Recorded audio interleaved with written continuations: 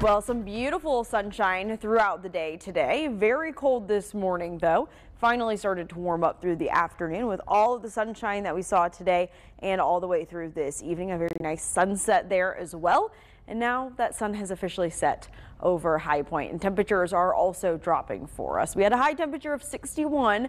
That is obviously no longer the temperature outside since that sun has gone down 49 in Greensboro right now, 49 in High Point, 48 in Winston-Salem. The mountains are seeing temperatures in the 30s right now and then low 50s in Asheboro and in Troy. Heading into tomorrow morning, frost and even some possible freeze in some areas are going to be possible. So keep that in mind if any of you are going to be out and about very early in the morning. Certainly going to want a jacket if you uh, plan on taking the dog out for an early morning dog walk. 33 degrees is where we're going to be.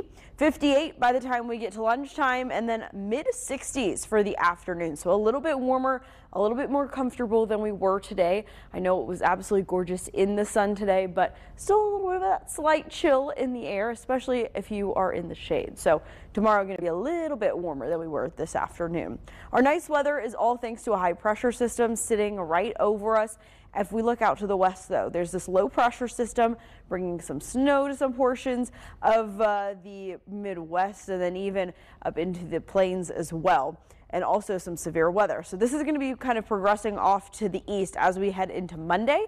And this warm front is what we're going to be watching to bring us possibly some cloud cover to several places across the country for that eclipse on Monday. What we're hoping for is that that will not happen so that we can watch when the moon moves right in front of the sun and blocks the uh, sun's rays from us. So this is what will happen in totality for us. We're not going to see the moon completely block it. You'll be able to see a partial eclipse, about 80% to 85% all the way out into western portions of North Carolina. We've got lots of clear sky all weekend long, but heading into Monday morning, that cloud cover starts to move in. Stray showers can't be ruled out in the morning time. But what looks good for us right now is that once we get to about 2 o'clock, that's when the partial eclipse is going to begin.